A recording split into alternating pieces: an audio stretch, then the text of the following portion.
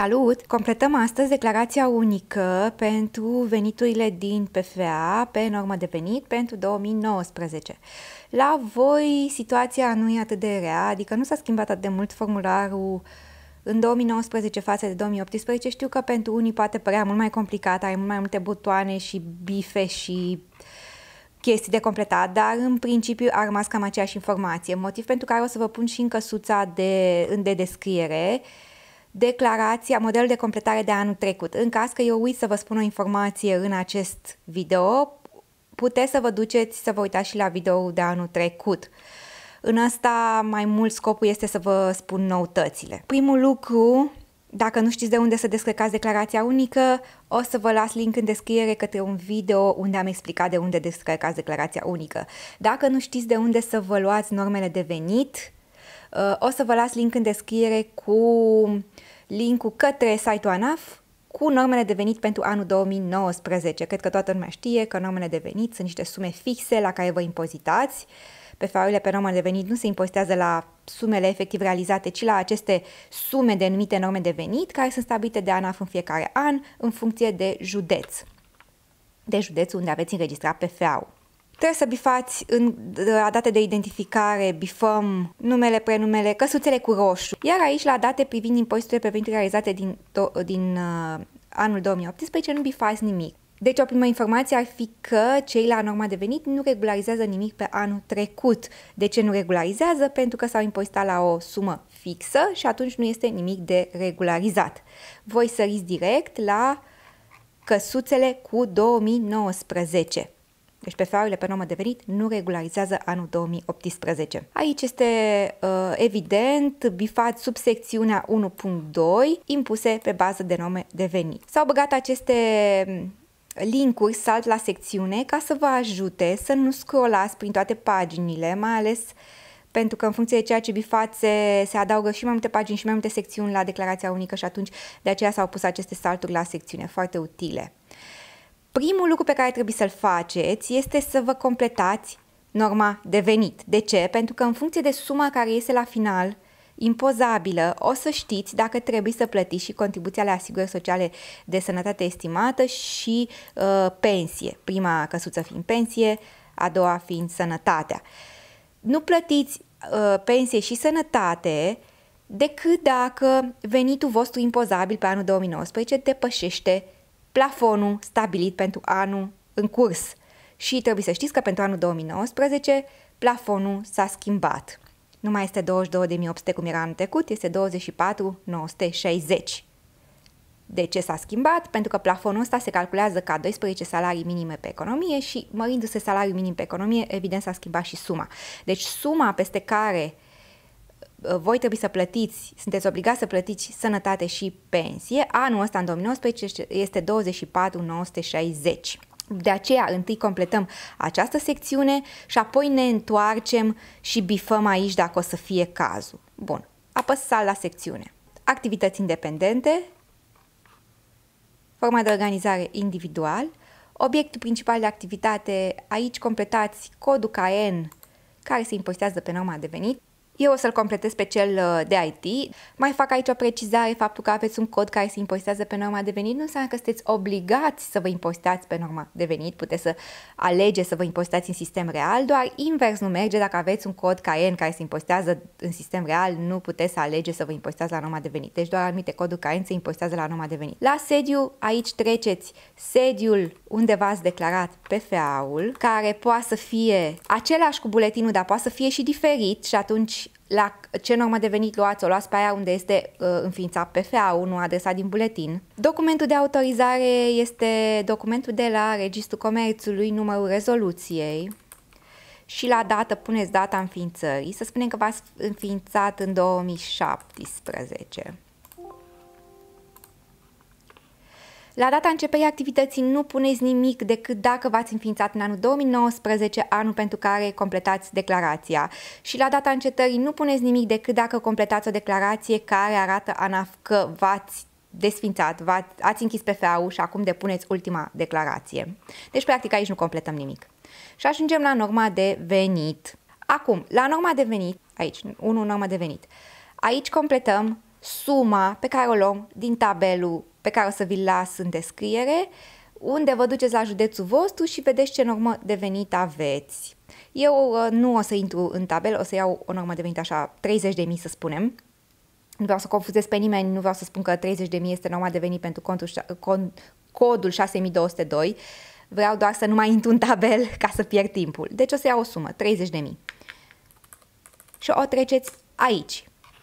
La norma ajustată potrivit codului fiscal, aici reiau informația de anul trecut. Ce înseamnă asta? Asta înseamnă că voi puteți să ajustați suma asta de 30.000 în două feluri. Primul fel în care ajustați norma are legătură cu niște condiții pe care dacă le îndepliniți puteți să vă impozitați mai puțin. De exemplu, dacă sunteți angajat cu contract de muncă pe 8 ore pe perioadă nedeterminată, vă puteți ajusta norma cu 50%. Asta înseamnă că v-ați impozita doar la 15.000 și nu la 30.000. Dacă și condițiile astea unde le găsiți tot în uh, lista cu normele de venit, întâi deschideți lista corespunzătoare județului vostru și sub tabelul cu norme de venit, acolo găsiți condițiile. Dacă îndepliniți una din condițiile respective, vă puteți ajusta norma de venit. Să spunem că persoana asta este și salariat cu normă întreagă pe perioadă nedeterminată, asta înseamnă că poate să-și ajusteze norma cu 50%. Și atunci aici la norma ajustată aș pune 15.000. Asta ar, fi însemn, ar însemna că s-ar impozita, adică aici la venit net anual, ar trebui să completați tot 15.000. Și atunci impozitul ar fi 1500, adică 10% din venitul impozabil și nu 10% din 30.000. Deci asta este primul, primul set de ajustare a normei. Dar eu când am luat aici 30.000, am presupus că acest PFA se s-a înființat în 2017 și deci se impozitează pentru anul 2019 pentru 12 luni. Dar dacă am luat un caz mai complex, să spunem că PFA-ul ăsta s-a, uh, s-a înființat în 17 a 2019, ca să complicăm puțin lucrurile, asta ar însemna că data începerii activității ar fi 17 a 3 a 2019, pentru că e primul an când depuneți declarația, și atunci, chiar dacă ai, iar aici la norma de venit nu am mai pune 30 de mii, pentru că 30 de mii este corespunzător a 12 luni de activitate.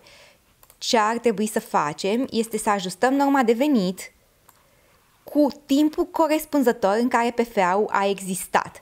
Adică luăm 30 de mii și mereu primesc întrebarea asta. Cum se ajustează? Se împarte la 12 și se mulțește cu câte luni? Cu 3 luni, cu 4 luni? Ei bine, la lege spune că se, nu se împarte la 12, se împarte la 365 de zile cât are anul. Vă dă suma asta pe zi, deci voi ar trebui să plătiți 82,19 lei pentru fiecare zi în care PFA-ul funcționează în anul, 7, în anul 2019 și înmulțiți cu câte zile, numărați cât, câte zile înseamnă de pe 17 a 3 până pe 31 a 12 și înmulțiți cu zilele respective. După un calcul empiric, eu am ajuns la concluzia că sunt 290 de zile, și ne dă o normă de 23,835. Eu la norma asta mă impozitez, la suma asta mă impozitez. De ce? Pentru că eu în perioada ianuarie-17 martie nu am existat și nu trebuie să plătesc impozit pentru asta. Deci în loc de 30.000 aici cât scrie în tabel, pun 23,836 o să pun eu pentru că o să rotunjesc. 23,836. Tot timpul rotunjiți în favoarea statului. Bun, 2336 și acum dacă sunt salariat, asta înseamnă că mai am voie să-mi ajustez în continuare norma cu 50%, deci m-aș impozita doar la 11.917. Și nu uita să modific și aici. Și uite cum ajung să plătesc impozit doar de 1192. Deci ce trebuie să rețineți este că primul lucru pe care îl ajustați este perioada. Vă uitați să nu plătiți mai mult, să nu plătiți pentru tot anul dacă voi v-ați înființat în cursul anului. Și al doilea lucru pe care îl ajustați sunt condițiile din codul fiscal, condiții pe care le găsiți în list sub tabelul de unde vă luați norma de venit conform fiecărui județ. După ce ați făcut toate aceste ajustări, aveți un venit impozabil. La 3.1 aici aveți un venit impozabil. Și vă uitați la venitul ăsta impozabil și vă gândiți, este suma asta mai mare de plafonul meu de 24,960? Ei bine, plafonul de 24,960 trebuie și el ajustat, din păcate, dacă voi ați uh, exista doar de pe 17 a 2019 și plafonul de 24,960, ăsta trebuie împărțit la 12 luni și îl înmulțim cu câte luni existăm, adică din martie până în decembrie 2800. Deci, ce facem noi? Ajustăm plafonul întâi, tot cu perioada la care am existat și ne gândim dacă suma impozabilă 11.917 este mai mare sau mai mică decât plafonul astfel ajustat. Și în cazul nostru este mai mică, deci asta înseamnă că nu trebuie să plătim cease și CASS, adică sănătate și pensie. Trebuie să fiți atenți să ajustați și plafonul. Deci în cazul ăsta declarația ar fi gata, ca să spun așa. Dar am avut și întrebări, ca să complicăm și mai mult lucrurile, am avut și întrebări ce se întâmplă dacă vreau să mă asigur. E bine, dacă vrei să te asiguri tu, chiar dacă nu trebuie, bineînțeles că bifezi aceste căsuțe și te asiguri. Nu este nicio problemă. Declarația nu te atenționează, declarația nu te împiedică, pentru că tocmai poți să te asiguri dacă îți dorești. Și, bifând aceste căsuțe, și ne ducem acum la contribuția de asigurare de sănătate, unde doresc să mă asigur benevol, sau la secțiune total venit estimat pentru cadea ca plătitor, ce venit aveam eu, 11.917. 11.917. Și aici ce bifez? Obțin venituri sub plafon și optez pentru plata CASS. Ăsta este cazul vostru. Și aici vă dă formula de calcul 10% numărul de luni ori salariu minim. Adică Câte luni am eu? 10 luni, că m-am înființat în martie. Care e salariul minim? 2080 ori 10 luni ori 10%. Deci, contribuția mea pentru 10 luni este, pe care trebuie să o plătesc este 2080 de lei. Și acum sunteți asigurați la sănătate dacă doriți să fiți. Mergem la sumarul obligațiilor de plată și aici declarația reia automat suma calculată pentru impozit și suma calculată pentru sănătate, unde m-am asigurat benevol în cazul meu. Pentru anul 2019 încă nu există bonificație, nu știm dacă o să se acorde, încă nu avem informații, de aceea aici nu completăm nimic.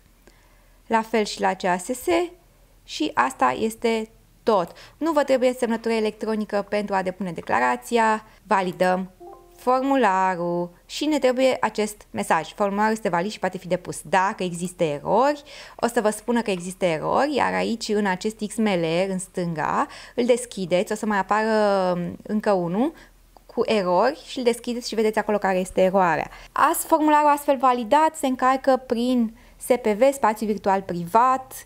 Dacă nu știți cum să obțineți spațiu virtual privat sau nu știți ce e SPV-ul și nu știți cum să încărcați în SPV, aveți toate detaliile astea în, într-un video pe care le-am filmat și o să vă las link în descriere. După ce încărcați declarația, la fel aveți grijă să scoateți recipisa și să fie validă și nu uitați să faceți plățile către impozit. Tot așa, dacă nu știți unde să faceți plățile, care sunt conturile, care sunt datele până la care trebuie să faceți plățile, găsiți toate informațiile astea în celălalt video. Sper că nu am uitat nimic, repet, vă uitați și pe declarația din 2018, nu s-au schimbat foarte multe, sunt foarte multe informații și acolo. Dacă aveți întrebări, lăsați-le în comentarii, iar noi ne auzim în video următor.